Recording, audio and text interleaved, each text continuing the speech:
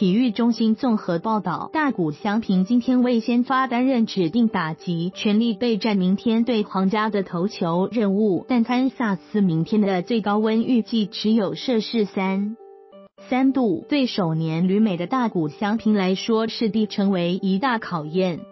大联盟官网作家 Maria Goddard 今天撰文分析，指大谷翔平从小在岩手县的澳洲市长大，日职又在北海道打球，适应寒冷气候应不成问题。但对于在低温下投球，大谷翔平似乎已不记得上次在严寒中投球是什么时候。希望明天会暖和些，但如果还是一样冷，会尽力准备好在寒风中投球。大谷翔平受访时透过翻译表达。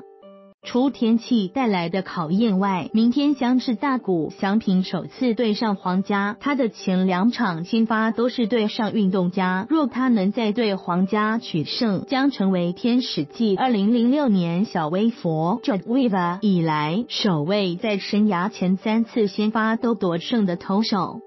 因应堪萨斯的寒冷天气，大谷翔平在场边戴起毛帽法新社。